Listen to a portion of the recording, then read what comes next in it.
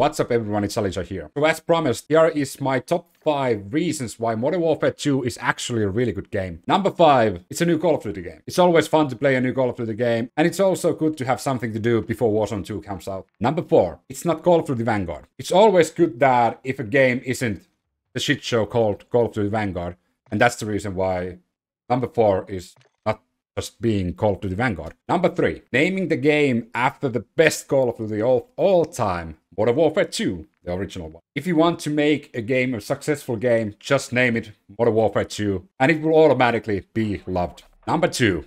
At least it's not made by EA Games. It could be worse. It could be made by EA.